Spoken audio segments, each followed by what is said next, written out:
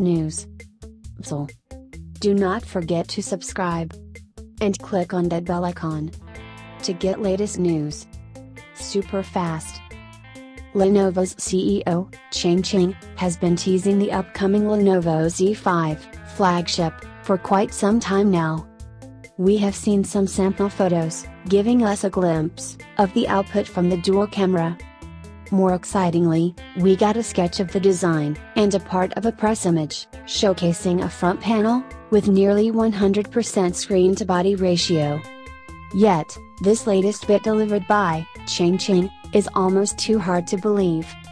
According to it, the Lenovo Z5 battery life is unlike anything we have seen lately.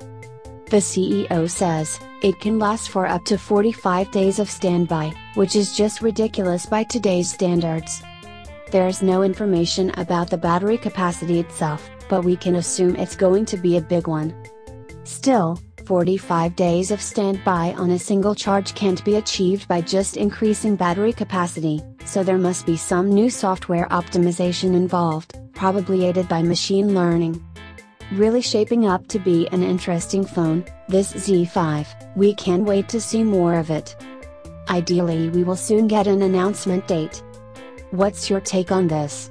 Do share your views via comment section below. And like always do not forget to like and share this video and subscribe this channel. I will be back shortly with another news, till then have a great time ahead, bye bye.